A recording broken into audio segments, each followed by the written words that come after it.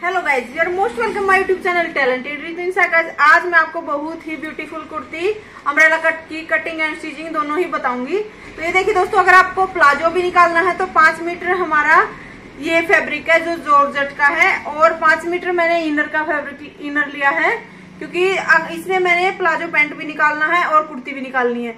अगर आपको only kurti cut करनी है तो उसके लिए आपको तीन मीटर फैब्रिक लेना होगा। और ये कम में भी काम चल जाएगा। तो चलिए हम स्टार्ट करते हैं। सबसे पहले हम क्या करेंगे? चोली कट करेंगे। तो चोली हम इनर में से कट कर लेते हैं। इसको एक बार साइड में रखते हैं। ये जैसे कि मैंने इनर लिया है। तो दोस्तों, मैंने इनर को इस तरह से फोर फोल्ड कर लिया है। अब मैं इसका एक बार आपको माप बता देती हूँ कि किस तरह से हम इसको कट करेंगे। ये देखिए, जैसे कि मैंने जो इसका माप लिया है, वो लेंथ है फोर्टी सेवन है। और जो चेस्ट है वो साढ़े आठ इंच है, जैसे कि मैंने इसमें प्लस करके फोर्थ हिस्सा करते हैं, वो लिया है, साढ़े आठ। कमर है वो साढ़े छह है, और जो स्लीव हम तैयार करेंगे डबल फ्रिल में करेंगे तो ये साढ़े चार है। आप अपनी मर्ज़ी से कम ज़्यादा ये ले सकते हो। मैं इस माप के अकॉर्डिंग आपको बताऊँगी, और सभी साइज़ के लिए आप ये मेज़रमेंट है फॉलो कर सकते हो। तो चलिए स्टार्ट करते हैं। जैसे कि ये इसमें जो चेस्ट है वो साढ़े आठ है तो जितना हम ये जैसे कि जब हम ये फैब्रिक फोल्ड करते हैं तो वो जिसका जितना ज़्यादा जैसे कुर्ती हो तो उसमें हम हीप देखते हैं। यानी कि हीप लगभग सबसे ज़्यादा होती है। फिर भी आपको एक बार समझा दूँ, जैसे इस माप में जो माप सबसे ज़्यादा होएगा चेस्ट कमर और हिप में, उसमें सबसे ज़्यादा जो होएगा उतना हम माप करके देखेंगे। उसमें डेढ़ या दो इंच हम एक्स्ट्रा लेते हैं।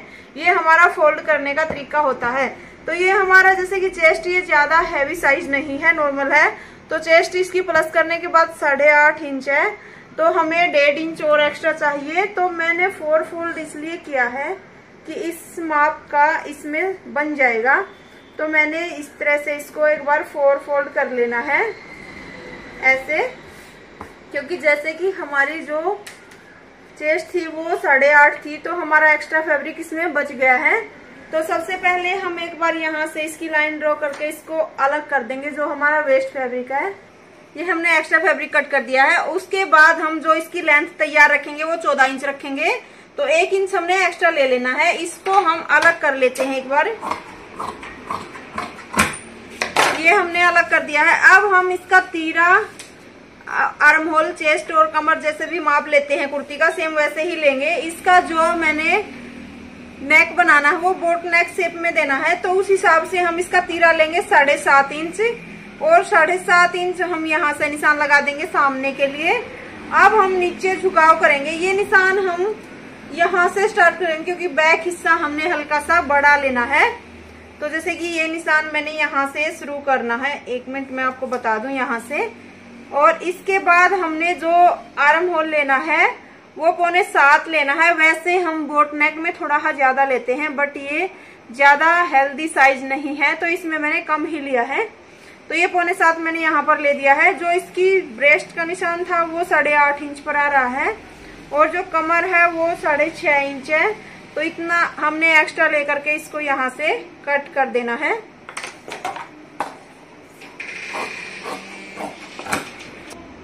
ये हमने कट कर दिया है। अब हम क्या करेंगे? जो फ्रंट हिस्सा है, उसकी छटाई करेंगे अलग से। इसको हमने जो फ्रंट हिस्सा है, अलग से निकाल लेना है। ये हमारा बैक हिस्सा हो गया, ये हमारा फ्रंट हिस्सा हो गया। इसकी हम यहाँ से, जैसे कि हमने जो नेक लेना है, वो साढ़े चार इंच पर लेना है।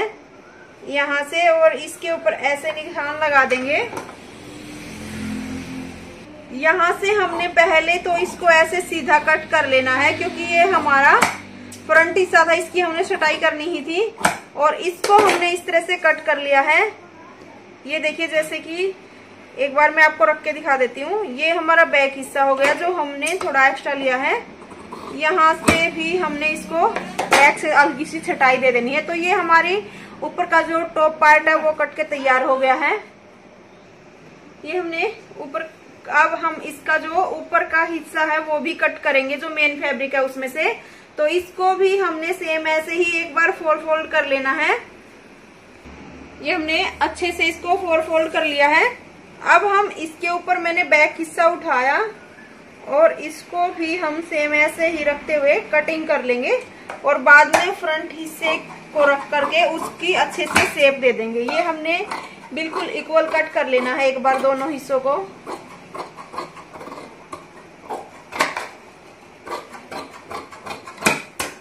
अब हम इसमें से एक हिस्सा निकालेंगे और फ्रंट हिस्से की भी सेम छटाई कर देंगे। जैसे कि हमने ये फ्रंट हिस्सा इसके ऊपर रखा और इसकी भी हम सेम छटाई कर लेंगे जो हमने इनर की की थी। तो ये हमारे दोनों हिस्से कट के तैयार हो गए हैं। ये हम फ्रंट हिस्से की इस तरह से एक बार छटाई कर देंगे। यहाँ से भी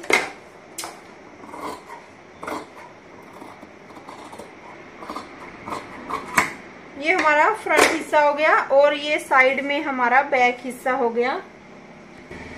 ये हम ऊपर का हिस्सा हमने कट कर लिया। अब हम इसमें से स्लीव कट करेंगे। तो स्लीव हमने कैसे कट करनी है? जैसे कि डबल फ्रिल मैंने पहले भी बताया है। ये तीन तीन इंच हमने यहाँ से लिया। इसको हम एक बार सीधा कट कर लेंगे। और एक पट्टी हम पाँच इंच की कट कर लेंगे। जैसे कि एक बार थोड़ा हाँ मैं माप लेती हूँ। एक पट्टी हमने पाँच इंच की कट कर ली है। अब हमने क्या करना है? जैसे कि यहाँ से हल्की सी सिंगल को एक बार ऐसे ये दो पट्टियाँ जैसे कि मैंने कट की, इसको हम हल्का सा राउंड शेप इस तरह से दे देंगे। ये हमने राउंड शेप इस तरह से दे देना है। ये हमारा मोहरी वाला हिस्सा है।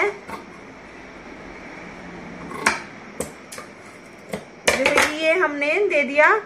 अब हम इसको इस तरह से रखेंगे।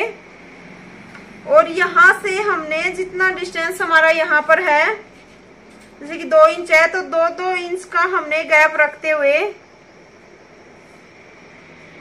यहाँ से भी हमने इसकी कट, कटिंग कर लेनी है। ये हमारी डबल फ्रिल स्लीव कट के तैयार हो गई है। यहाँ से हम हल्की सी छटाई कर देते हैं इस तरह से। दोस्तों, ये हमारा आगे का हिस्सा है और ये पीछे का है। हल्की सी हम आर्म होल की भी छटाई कर देते हैं इस तरह से। यहाँ से हमने कट लगाया। यहाँ पर हम इस आर्म होल स्टिच करेंगे और यहाँ पर पिको करके इसको आगे से ये ओपन छोड़ देंगे। हमारी स्लीव कट हो गई है। अब हमारा जो फैब्रिक बच गया है, इसमें से एक तो हमने पैंट निकालनी है और एक नीचे का जो हम घेरा तैयार करेंगे, वो हम निकालेंगे। तो पहले हम इसमें से घेरा निकाल लेते हैं। अब हमने क्या करना है, इसको इस तरह से दो हिस्से पकड़ते हुए, जैसे कि मैंने ये दो हिस्से पकड़े, और इसको इस तरह से ट्रेंगल शेप में बिछा लेना है बहुत अच्छे से। मैं आपको एक बार नीचे बिछा कर दिखाती हूँ। ये देखिए जैसे कि हमने इस तरह से ट्रायंगल शेप में एक बार बिछा लिया है। ये ऐसे हमने बिल्कुल फिनिशिंग से एक बार इसको बिछा लेना है। उसके बाद हम जो हमारी कमर थी, जैसे कि साढ़े छह इंच हमारी कमर थी, डेढ़ या दो इंच हम एक्स्ट्रा लिया है तो यानी कि आठ इंच लगा के चलो, हमने आठ इंच इसकी कमर लेनी है एक्स्ट्रा फैब्रिक लेने के बाद। तो आठ इंच पर हम एक बार ऐसे सीधी लाइन ड्रॉ कर देंगे इस तरह से। आठ इंच पर मैंने निशान लगाया। उसके बाद जो हमारा ये कॉर्नर है इससे हम मापेंगे हमारा ये निशान कहाँ तक आया है? यानी कि दस इंच पर हमारा निशान आया है। हमने 10-10 इंच पर राउंड शेप दे देनी है इस तरह से। अब हम इस राउंड को माप कर देखेंगे हमारा कितना हुआ है। तो हमने इस तरह से इसको मापा ये हमारा साढ़े आठ इंच हुआ है। तो साढ़े आठ इंच हमारा चल जाएगा। हम इस रा, इस राउंड के ऊपर से इसको कट करेंगे। अगर हमारा कम ज़्यादा होता है, जैसे कि ज़्यादा हो जाता है, नौ, साढ़े नौ इंच तक तो हम ये गोलाई थोड़े ही ऊपर को देंगे। अगर कम हो जाता है तो हम ये राउंड थोड़ा हा नीचे को देंगे। बस यही इसका तरीका होता है।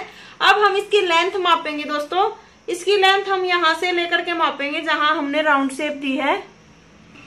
इसकी लेंथ जैसे कि हमने एक यहाँ से जितनी हमारी वो चोली थी ऊपर, यानी कि हमने चौदह इंच तैयार रखनी है। एक इंच हमने वैसे एक्स्ट्रा लिया था। चौदह इंच पर हमने यहाँ पर निशान के ऊपर चौदह इंच रखा और जितनी भी हमने लेंथ तैयार करनी है, उतनी पर हम निशान लगा देंगे। यानी कि 47 पर हमने निशान लगा देना। 47 हमने 47 पर हमने निशान लगा लिया है। अब हम क्या करेंगे? यहाँ से लेकर बिल्कुल कॉर्नर से और यहाँ तक देखेंगे हमारा ये कितना हुआ है। यानी कि ये हमारा 43 हुआ है। हमने यहाँ पर इस तरह से सीजर्स को रखा और जितना भी हमारा 43 पर आया, जैसे कि हमने पूरे पर निशान लगा देना 43 तक। ये हमारा यहाँ तक 43 तक कंप्लीट हो रहा है। तो हमने पूरे राउंड पर निशान लगा देना। एक बात और बता दूँ दोस्तों, जैसे कि हमने अगर नीचे से फोल्ड करना है तो हमने एक्स्ट्रा लेना होगा एक या डेढ़ इंच बट हमने फोल्ड नहीं करना हमने नीचे पिको करनी है, इसलिए मैंने पूरा जितना तैयार करना था। तो ये हमने यहाँ पर पिको करनी थी, इसलिए पूरे पर निशान लगाया। अब हम क्या करेंगे, इसको कट कर लेंगे यहाँ से और यहाँ से। फिर हमें आपको आगे दिखाती हूँ, एक बार हमने कट कर लेना है। अब हम इसको बताती हूँ कि कैसे हम जोड़ेंगे। जैसे कि हमारी, ये जो ऊपर हमने चोली कट की थी, इसके साथ हम इसको जोड़ देंगे। और जो नीचे हमारा साइड में फैब्रिक बच गया, उसमें से दोस्तों हम पेंट निकालेंगे। तो इसको हम एक बार साइड कर देते हैं और इसको हम इस तरह से ओपन करेंगे और इसके साथ है ऐसे सीधा जोड़ देंगे। फिर भी मैं एक बार आपको बताऊँ। चलिए मैं आपको इसकी स्टिचिंग बताती हूँ। तो उसके लिए सबसे पहले हमने क्या करना है? हमने जो इनर है और जो चोली का पार्ट ऊपर फ्रंट था, उसको हमने कच्चा कर लिया चारों तरफ़ से। दोनों हिस्से हमने इनर के साथ इस तरह से ज्वाइंट कर लिए हैं। अब हम इसके साथ एक बार नेक तैयार करेंगे और इसमें हल्का सा फ्रंट हिस्से में डिज़ाइन बनाएँगे। ये हमने, जैसे कि जो कच्चा टाका कर लिया था, उसके बाद हम इसको सेंटर से अलग कर लेंगे फ्रंट हिस्से को। ये जैसे कि हमने इस तरह से मिलाया और इसको बीच में से कट कर देंगे। ये जैसे कि हमने बीच में से इसको कट कर दिया है। अब हमें इसके बीच में पोटली बटन लगानी है। तो पोटली बटन हम दो तीन तरीके से बनाते हैं। जैसे कि हमने मोती के साथ भी पोटली बटन बनाना बताया आपको कई बार। और इससे भी हमने जैसे कि छोटा छोटा कपड़ा कट करके भी हम पोटली बटन बनाते हैं और जो थर्माकोल की छोटी छोटी गोलियाँ होती हैं, उसके साथ भी हम पोटली बटन बनाते हैं। तो मैं अब की बार ये छोटे छोटे टुकड़े कट कर लूँगी, जो इसी का फैब्रिक है उसके, और इसके साथ ही पोटली बटन बनाएँगे। तो पोटली बटन के अलावा एक हमने क्या चाहिएगा दोस्तों, जैसे कि ये बोट नेक मैंने कट किए हैं। बोट नेक की कटिंग भी मैंने बहुत अच्छे से बताई है। इनको भी आप एक बार जो इसका इनर वाला फैब्रिक है, उसके ऊपर स्टिच कर लेना है। इनको स्टिच कर लेंगे और पोटली बटन हम तैयार कर लेंगे। और फिर मैं आपको इसमें लगाना थोड़ा बताती हूँ कि कैसे हम लगाते हैं। पोटली बटन एक बार हल्का हा तरीका बता दू कि कैसे हम बनाएँगे। जैसे कि हमने इस तरह से फैब्रिक लिया थोड़ा सा, जो हमारे छोटे छोटे टुकड़े हैं। इसको हमने इस तरह से इसके अंदर रखा। जैसे कि यहाँ से इस पर हम धागा लपेटेंगे इस तरह से। ये मैंने डबल फैब्रिक लिया क्योंकि ज़्यादा ही पतला था तो ये बाहर शो हो रहा था। हमने इस तरह से इस पर धागा लपेट देना है और इसको हम यहाँ से कट कर देंगे। इस तरह से हमने सभी पोटली बटन्स को तैयार कर लेना है सेम साइज़ में। तो जैसे कि दोस्तों, हमने ये पोटली बटन तैयार कर लिए ये मैंने जैसे कि हमारे कहाँ तक लगाने स्टार्ट करने हैं, उस हिसाब से ही तैयार किए हैं। अगर कम ज़्यादा रहे तो हम बाद में बना लेंगे। तो ये देखिए, जैसे कि मैंने बोटनेक जो तैयार करना है, उसकी लेंथ हमने साढ़े चार इंच तैयार रखनी है, जो हम बनाएँगे। तो उसके बाद हमने पाँच इंच पर निशान लगा लेना है। यानी कि हम जो पोटली बटन लगाना स्टार्ट करेंगे, वो पाँच इंच से स्टार्ट करेंगे लगाना। हमारा राइट हिस्सा है। राइट हिस्से पर हमने लगाना स्टार्ट करना है। तो हमने इस तरह से इस पर पोटली बटन लगाने हैं और वो भी और सुविधा हमारी हो जाए तो हमने क्या करना है? एक हमने सीधी लाइन ड्रॉ कर लेनी इस तरह से। ये हमने सीधी लाइन ड्रॉ की। अब मैं आपको चलिए मशीन पर लगाना बताती हूँ। हमने इसके लिए सिंगल फुट लगा लेना है और पूरे पर इस तरह से पोटली बटन लगा देने। ये हमने सिंगल फुट लगाया है। अब हम इसकी मदद से ये पोटली बटन इस तरह से लगाते चलेंगे। क्योंकि सिंगल फुट के बिना तो ये पोटली बटन हमारे लगेंगे नहीं। ये हमने इस तरह से एक एक उठाया और सेम डिस्टेंस रखते हुए हमने सारे पोटली बटन लगा देने हैं इस तरह से। ये हमने सारे पोटली बटन कंप्लीट कर लिए थे और उसके बाद दोस्तों हमने जो दूसरा हिस्सा है वो लिया और इसको हमने सेम इसके ऊपर रखते हुए ऐसे सेम इस तरह ही सिलाई लगा देनी है। आप चाहो तो जो हमारी जो सिलाई आई है, उसके ऊपर से भी लगा सकते हो। फिर हम इसको पलट देंगे बट मैं सीधा इस तरह एक बार लगा लेती हूँ सिलाई। फिर आपको दिखाती हूँ। हमने बहुत ही फिनिशिंग से एक बार ये सिलाई लगा लेनी है। पूरी लेंथ तक हम ये सिलाई लगा लेंगे। कंप्लीट कर लिए अब हम इसको इस तरह से सीधा करेंगे। तो ये हमारे पोटली बटन देखिए, बहुत ही फिनिशिंग से लग कर आए हैं। अब हम इसके ऊपर सिलाई लगा देंगे। हम चाहें तो इनको इस तरह से अगर बाई चांस आपको ऐसे इनका फेस करना है तो ऐसे भी कर सकते हो। आप अपनी मर्ज़ी के अकॉर्डिंग जिस साइड रखना है, वैसे कर सकते हो। ये हम एक बार सीधी सिलाई लगा लेंगे। पूरे पर हमने सीधी सिलाई लगा लेनी है। ये हमने यहाँ से जैसे ये पोटली बटन लगाकर तैयार कर ली थी अब हम क्या करेंगे? ये हिस्सा इसके साथ ज्वाइंट करेंगे। तो वो हम इस तरह से करेंगे। यहाँ से हमने इसको ऐसे करके सिलाई लगा देनी है। सेम हम ऐसे ही बैक हिस्से पर भी इसको सील लेंगे। उसके बाद हम इसके नेक तैयार करेंगे और फिर स्लीव अटैच करेंगे और फिर सीधी फिटिंग की सिलाई लगा देंगे। ये एक एक इंच की यहाँ से राउंड शेप दे देनी है दोनों हिस्से की। जब हम ये नीचे से ज्वाइंट करें तो हमने ये शेप ज़रूर दे लेनी है। क्योंकि इससे हमारी जो सिलाई है एकदम फिनिशिंग से आएगी। यहाँ से भी हम इसको एक बार ऐसे कट कर लेते हैं। और अब हम इसके ऊपर जो इसका नीचे वाला घेर है, उसको ज्वाइंट करेंगे। ये हमने, जैसे कि ये ज्वाइंट कर लिया फ्रंट और बैक दोनों में। ये मैंने नीचे पहले इनर नहीं देना था बट अब मुझे इसमें इनर डालना है। तो अगर बाई चांस आपको भी बाद में इनर की ऐसा लगे कि आपने डालना है तो आपको इसके लिए भी अगर इनर कट करना है तो आप कैसे करोगे? सेम वैसा ही हमने तरीका फॉलो करना है। जैसे कि मैंने इसको इस तरह से ट्रेंगल शेप में बिछाया सेम उसी तरीके से। और आठ इंच पर वो ही सेम मैंने यहाँ से भी लिया। जैसे हमने वो लिया था सेम वो ही तरीका फॉलो करते हुए हमने इसको भी ले लेना है। और जितनी हमने लेंथ रखनी है, उस हिसाब से इसमें हम लेंथ कम ही रखते हैं। तो इसमें हम इतनी लेंथ रख लेंगे जितना कि हमारा ये बंद हिस्सा जितना रहा है। तो मैंने सत्ताईस इंच पर लिया जैसे कि यहाँ पर हमने सीजर्स रखी। तो ये हमने पूरे राउंड पर निशान लगा देना है इस तरह से, और इसको हम कट कर लेंगे। यहाँ से भी और यहाँ से भी।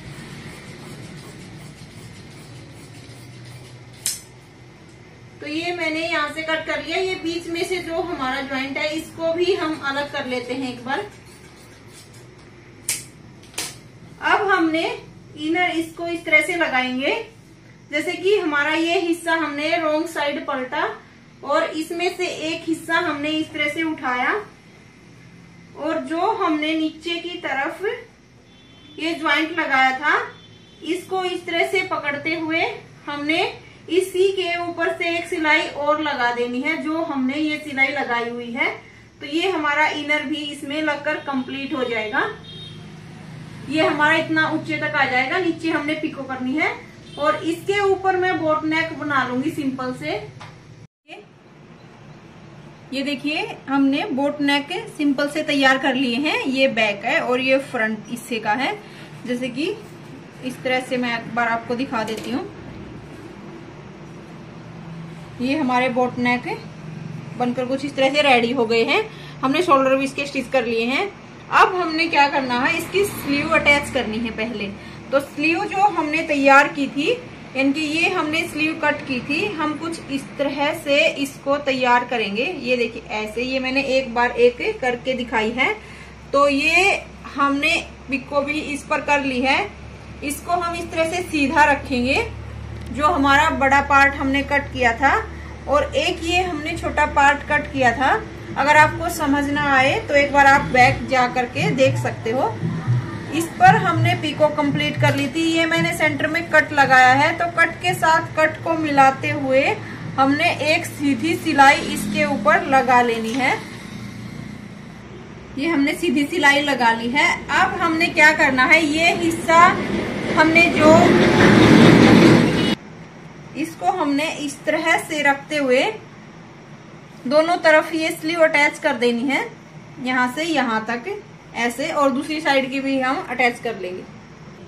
ये देखिए, ये हमारी स्लीव बनके कुछ इस तरह से दिखेंगी, बहुत ही सुंदर ये लगेंगी।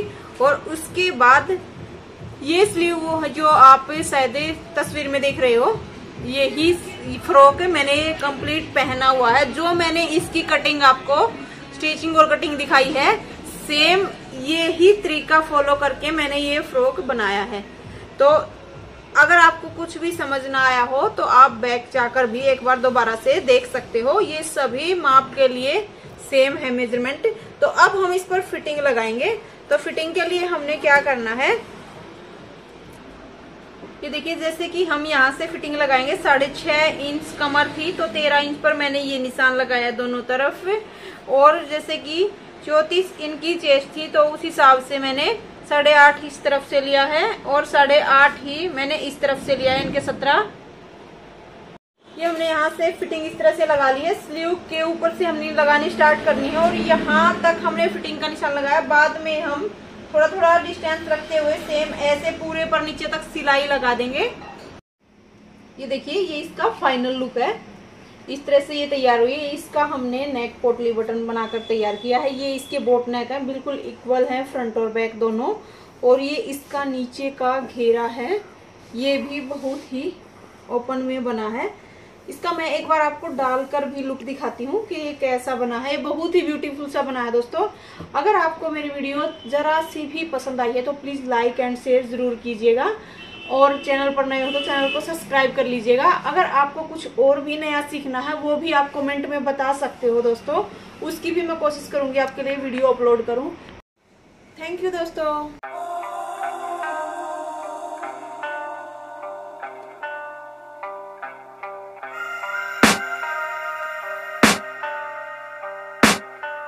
I can hear the demons call when they do what they do And now I feel like taking off, find a place close to the view. The pain is never gonna stop if it's controlling you. I know that time can heal it all, I just gotta get through.